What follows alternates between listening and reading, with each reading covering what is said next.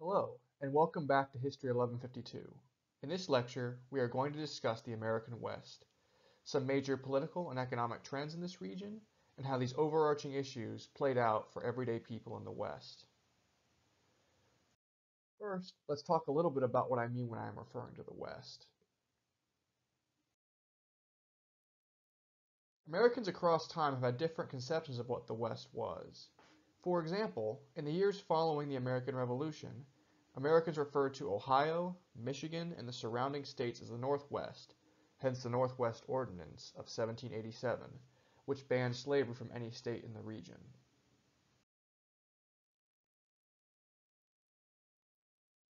Southerners on the eastern seaboard, in the years following the War of 1812, migrated to Mississippi and Louisiana, and referred to these states as the Southwest, so regional terms can be somewhat arbitrary.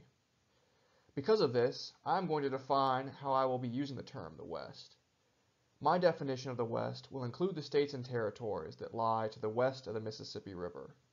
I have chosen to define the West in this manner because if you were to ask a person in the late 19th and early 20th century to define the American West, they would probably include all states west of the Mississippi as part of America's western region. To this day, we still have this attitude when we think of the United States. Demographers usually divide the country along the Mississippi River rather than at its center point, which is near Lebanon, Kansas. In terrestrial radio, the letter W on the first letter of a station's call letters designates that a radio station in question broadcasts from east of the Mississippi River, and the letter K denotes a station that lies west of the Mississippi. Consider Columbus's public radio station, WOSU, versus Los Angeles's public radio station, KCRW. Now, keep in mind this definition of the West, as all territory lying west of the Mississippi River will overlap with other regions, particularly the South. Most of Louisiana, and all of Arkansas, Missouri, and Texas lie west of the Mississippi and are considered to be a part of the South because of the cultural, economic, and demographic similarities between these states and the traditional South. But they are also part of the West. I have no trouble defining these states as Western alongside other more traditionally recognized Western states because these states also share cultural, economic, and demographic similarities with the traditionally agreed upon far Western states like New Mexico and Arizona. So what I'm really trying to say here is that a region is bound by geographic features. The West is all land west of the Mississippi River, but a region is also defined by the cultural, economic, and demographic similarities of the population within, living within that space of land. With this terminology out of the way, let's talk about the factors that make the West the West. The American West, and most Americans' definitions of it, involve the West as being defined by frontiers. What is a frontier? The Oxford English Dictionary defines a frontier as the extreme limit of settled land beyond which lies wilderness, especially referring to the western U.S. before Pacific settlement. The OED also defines the frontier as the borderland between two nations or peoples. In a sense, both of these definitions are perfect for our discussion of the West as a place of frontiers. Most white Americans thought of the regions not settled by Euro-Americans as places that did not have the same level of civilization as the urban and integrated rural environments east of the Mississippi River. In the late 19th century, the West had a larger population of Native Americans than the East because the indigenous people of the West had not been as affected by the Euro-American expansion as the Indians of the East had. In addition, the U.S. government had encouraged or forced Eastern Native Americans to settle west of the Mississippi. The Native Americans, indigenous to the West, had lifeways that greatly differed from those of most white Americans, or even the Indians of the East. The Indians of the Great Plains, including the Sioux and the Comanche, adopted horses into their culture after their arrival in the 16th century, facilitating their semi-nomadic lifestyle based around bison hunting and the alternation of campsites. The Native Americans of the desert southwest, including the Pueblo and the Navajo, lived in sedentary villages and practiced agriculture. Although their growing techniques differed from those used by Europeans and the Native Americans of the East because of the Southwest's arid climate. The adaptations that the indigenous peoples of the West had developed to deal with the region's unique opportunities and challenges were often puzzling to white Americans who arrived in the West, leading to strife and violence between these groups. Native Americans were not the only people of color who lived in the West before the large-scale arrival of white Americans. Mexican people lived throughout the Southwest, many of whom were mestizo, having mixed Spanish and Indian ancestry. Most lived in Cal California and what would become the states of Arizona and New Mexico.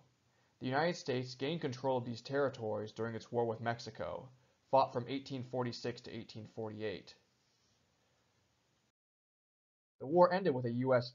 victory, and Mexico signed the Treaty of Guadalupe Hidalgo, which gave the United States control of the land that would become California, Nevada, Utah, Arizona, and New Mexico, as well as parts of Colorado. The treaty also affirmed the American claim that Texas's boundary extended to the Rio Grande, its present location. The debate over Texas's southern boundary had been a major reason for the U.S. and Mexico going to war.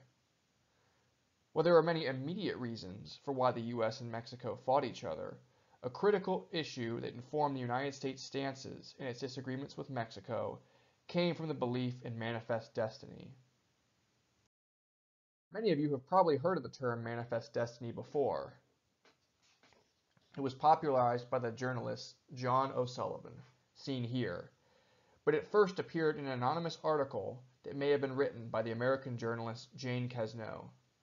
Manifest destiny was a political philosophy that justified and encouraged American territorial expansion, essentially American imperialism.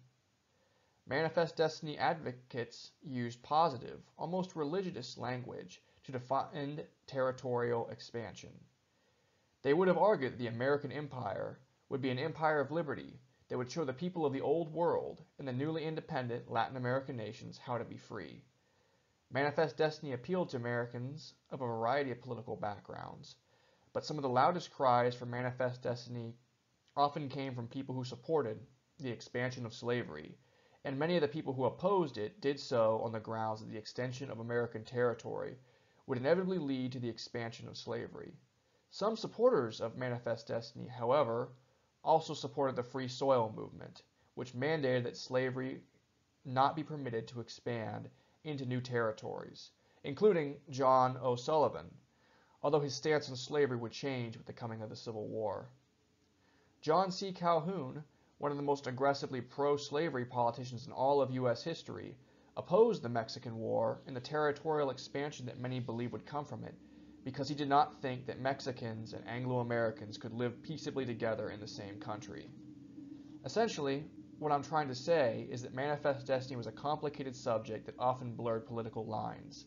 The fact that Manifest Destiny could mean many things to many different people would lead to the term becoming popular again in the 1890s, a subject we shall discuss later. The language of Manifest Destiny would also inspire American expansionists to call for the acquisition of the Oregon Country, what is now the states of Washington and Oregon as well as part of what is now British Columbia, all the way north to the 54th parallel. The British, conversely, claimed all of the territory to the 42nd parallel. Great Britain and the US managed to make a deal without war, essentially dividing the territory at the 47th parallel, the present US-Canadian border in the Pacific Northwest, although both empires came very close to fighting over this territory.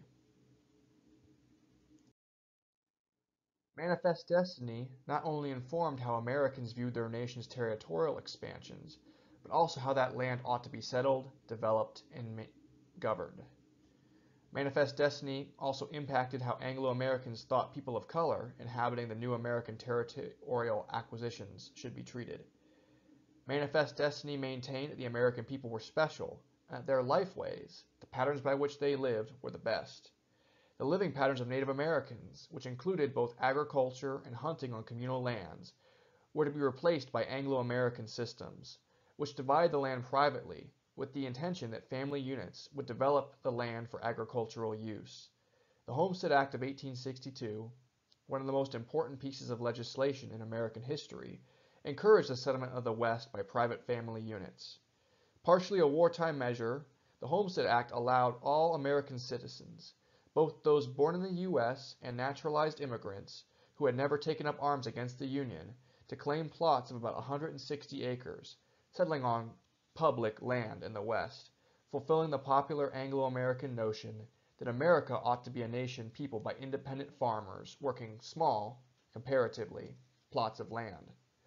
Later versions of the Act saw to it that women and African Americans were specifically mentioned as being included in the provisions of the Act, allowing them to also gain land of their own. In many ways, the Homestead Act was a remarkably forward-thinking piece of legislation. It gave most Americans the chance to own land at no cost and gain upward mobility. Conversely, the Act did have a dark side. The Acts gave public land to homesteaders, land that had previously belonged to Native Americans. The settlement of western lands by homesteaders would lead to friction between settlers, most of whom were white, and the Native American peoples who called the West home. Additionally, many people abused the generous provisions of the Homestead Act by pretending to be small farmers, when in fact they were actually speculators who planned on selling the land so they could sell it to large corporations, essentially especially cattle raising and livestock companies. Homesteaders often used the land, especially in the Rocky Mountains, for mining and logging instead of agriculture, their intended purpose.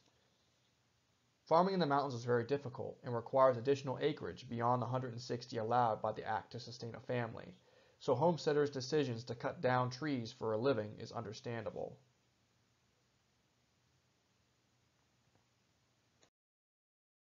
Unfortunately, the mining and logging practices used by homesteaders led to environmental degradation.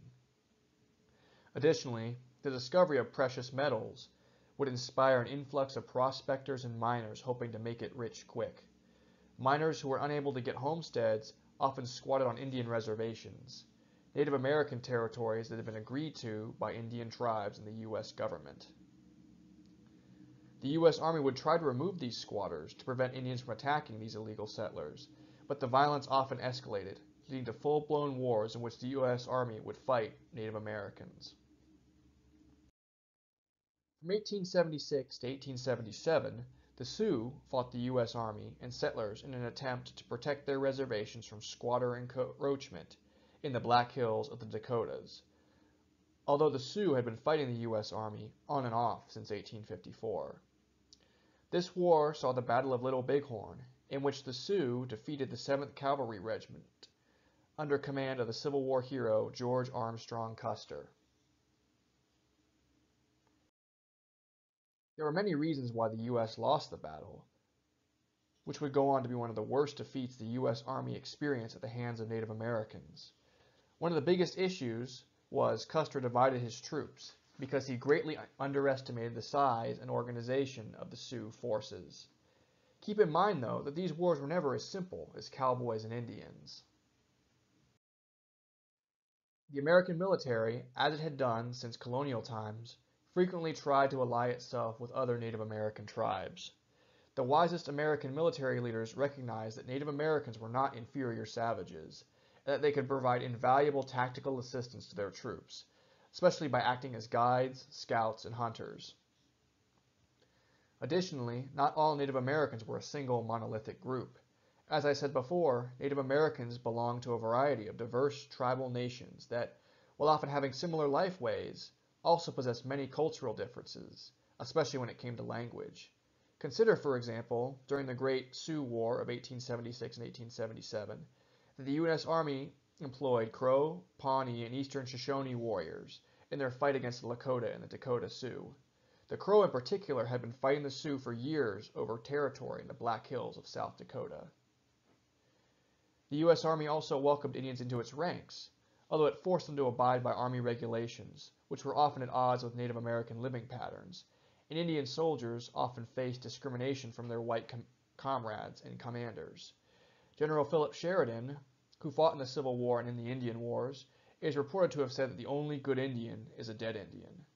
Sheridan and military officers like him, including former Civil War General William Tecumseh Sherman, if they did not want to see the Indians exterminated, wanted them to be defeated and confined to reservations. Native Americans who served in the U.S. Armed Forces may have also seen their service as a way to prove their equality to, white Americans and gain the rights of citizenship, since the 14th Amendment did not automatically grant citizenship to Native Americans.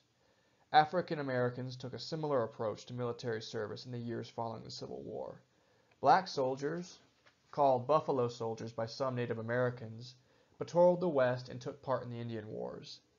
Ultimately, the Native American tribes of the West were not able to resist the military power of the federal government, backed in part by black and Indian soldiers, or the general Americans' belief in manifest destiny.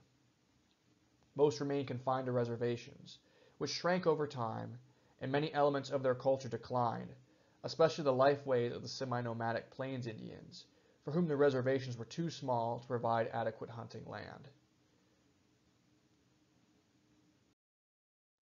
The U.S. government also sent soldiers and settlers to hunt bison, the American buffalo, because the buffalo were a critical food source for many Native Americans, also weakening Indians' centuries-old hunting customs.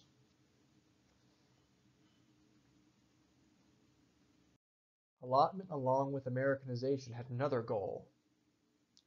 After all Native American family units had been given homesteads, excess land could be sold to white settlers. The Dawes Act also greatly weakened the power of Native American tribal governments as well. Ultimately, the Dawes Act, which promised to help Native Americans by giving them individual control of their land, led to the loss of nearly two-thirds of reservation territory to mostly white settlers, and it greatly weakened Native American tribal governments, leading to the decline of Native American culture on the reservations.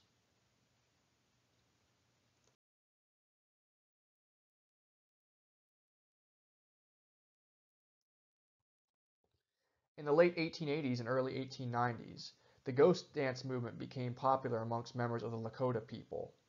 Followers of the ghost dance movement believed that Jesus Christ would return in the body of an Indian, and white people would disappear from the plains, allowing the Lakota to return to their ancestral homelands, demonstrating a cultural syncretism between indigenous and Euro-American religious beliefs.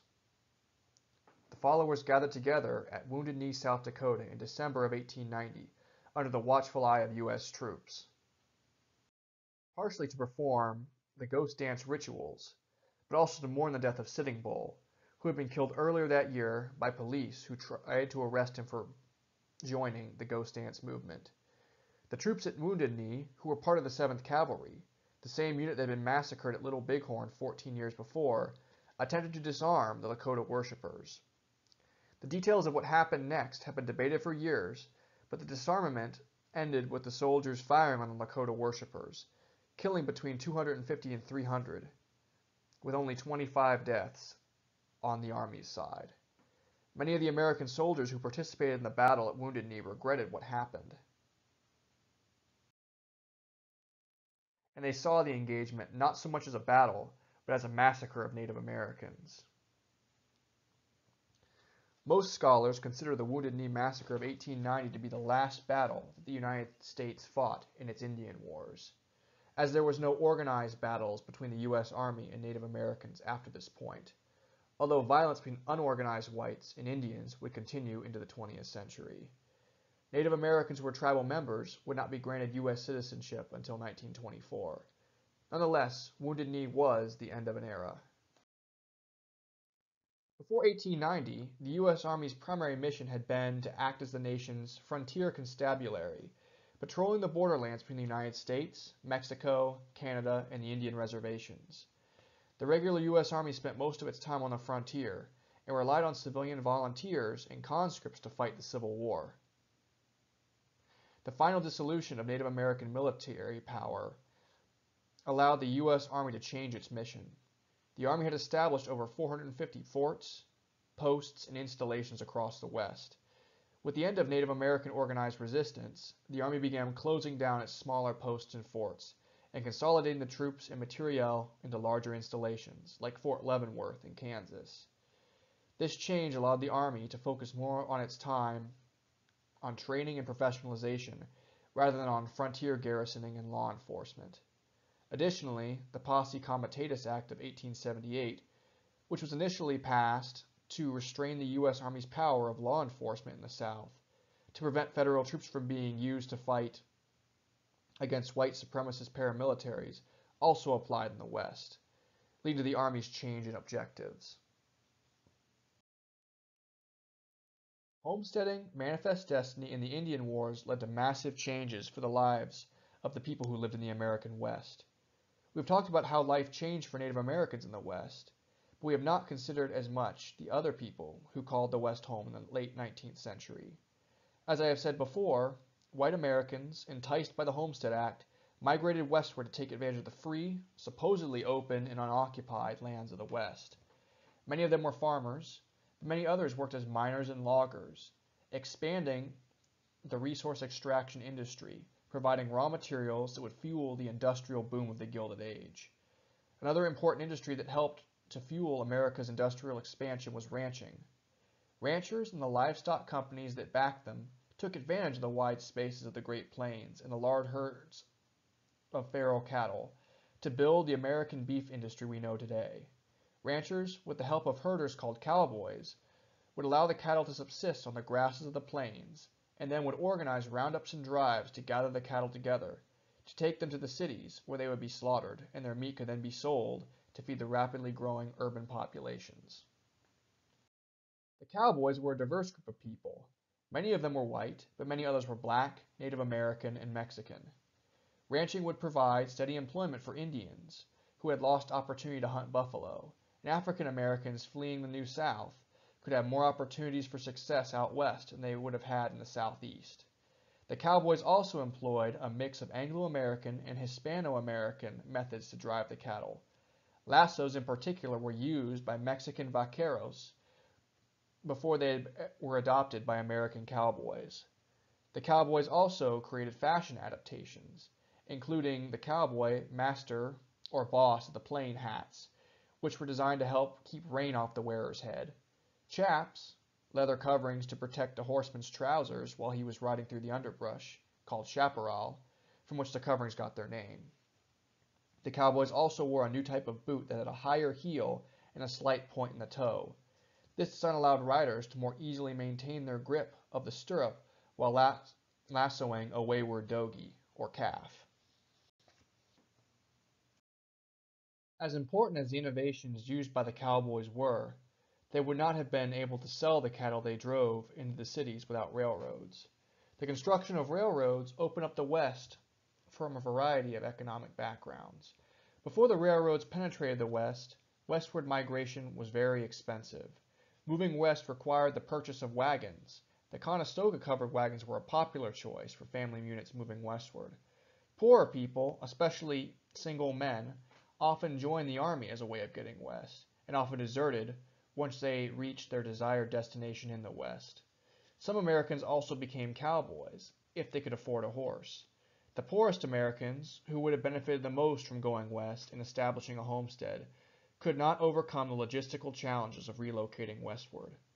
With the building of railroads, however, the financial barrier to going west was lowered. Now, anyone who could afford a train ticket could get to the West. The first transcontinental railroad, finished in 1869 at Promontory Point, Utah, Lake San Francisco, California, with Council Bluffs, Nebraska, allowing Americans to easily traverse the Great Plains and the Rocky Mountains, making westward travel and trade far easier and cheaper. The construction of these railroads across the West only made travel simpler and less expensive. The construction of these railroads also offered solid employment for a variety of workers, including Civil War veterans, immigrants, especially immigrants from Ireland and China, and African Americans, as stated before, who had come to view work on the railroad as a way to gain steady employment and the ability to move freely. Women also moved west with the railroads. They helped to build the Western service economy by running saloons, restaurants, hotels, laundries, and brothels that catered to the men who lived in the West. Women faced many challenges in moving to the West, but for many, life in the West offered more opportunities for self-employment and autonomy than living in the East did. Railroads also allowed goods and raw materials to be transferred between East and West far more quickly. Railroads could move timber and ores to the eastern cities, where they could be refined and manufactured into tools, firearms, and other equipment, which could then be sent west and sold. Additionally, the beef industry probably never would have taken off in the way it did without the growth of railroads. The cowboys could now drive their cattle to railheads in Texas and Oklahoma and load their cattle onto the trains, after which they were taken to rail hubs like Chicago, where they would be slaughtered and their meat sold. Americans have always had a taste for meat, and railroads made meat far cheaper and accessible to the poor. The development of refrigeration technology only increased the availability of meat and allowed Americans to eat flesh from creatures that had, been li- that had lived and been slaughtered hundreds of miles from their dinner tables. Railroads helped Americans in the late 19th century reach the West far more quickly and easily, helping cities grow rapidly. Rail hubs, like Denver, Colorado in particular, grew as a result of these railroads. Towns that were bypassed by railroads, however, often constricted, as their populations left to live closer to the rail lines. Some municipalities, especially those involved in resource extraction, became ghost towns when the mines ran out or all the trees had been cut down. So what was life like in these western towns? Life in these towns could be chaotic, as people moved in and out looking for work. Violence, especially shootings, were common, although not out of pace with the violence that occurred at the same time in large urban areas. Law enforcement was stretched thin, and the U.S. Army was focused on safeguarding the frontier rather than law enforcement, which they would have been barred from anyway, thanks to posse comitatus. This environment allowed criminals and outlaws to make careers out of robbery. Men like Jesse James and William H. Bonney, better known as Billy the Kid, took advantage of the lack of law enforcement to make lives of crime. Both James and Bonney became folk heroes for many Americans for their resistance against law enforcement. James, who had fought for the Confederacy in the Civil War, became a hero for people who believed in the lost cause. Outlaws like Bonney and James seemed to be on their way out in the eyes of many Americans. Rather than being murderers and thieves, they were symbols, emblematic of the Wild West that was quickly coming under control of American civilization as a result of Manifest Destiny, the Homestead Act, the U.S. Army, and the railroads. While some Americans idolized outlaws, others chose to adulate more upstanding figures, like the performer William Buffalo Bill Cody or the crack shot sharpshooter Annie Oakley. These performers' skills in horseback riding and shooting had become entwined with the settlement of the West, and were seen as symbols of progress for many Americans. Sitting Bull, the Lakota spiritual leader, whose killing would help to inspire Wounded Knee, also performed with Cody. Ultimately, the forces of Manifest Destiny, homesteading, Indian wars, and the railroads worked in conjunction to transform the West from a frontier in which people from a variety of ethnic backgrounds vied for control to one in which the United States had ultimate hegemony. By 1890, the same year that the Wounded Knee Massacre happened, the U.S. Census Bureau declared that the frontier had been closed and that the American West had been fully integrated with the nation as a whole. The Bureau based this judgment on the fact that the entire continental U.S. had at least two people living on each square mile. This is hardly a high level of population density, but the analysts at the Census Bureau made this decision because they recognized the end of an era. Native American military power had been all but extinguished. Railroads cut across the prairies and mountain ranges of the West, and cowboys, miners, and loggers sent their raw materials back east, and Eastern industrialists shipped their consumer goods west, fully integrating Western markets into the U.S. economy as a whole. Looking at the control the U.S. had gained over the West, the historian Frederick Jackson Turner repopularized the term manifest destiny and created the frontier thesis in 1893. Turner posited that the struggle for westward expansion and integration had made the American people strong, vital, and democratic, and that with the West fully pacified, Americans needed to find new struggles and challenges to overcome in order to maintain their character and vitality. These struggles, though, will be the subject of a future video.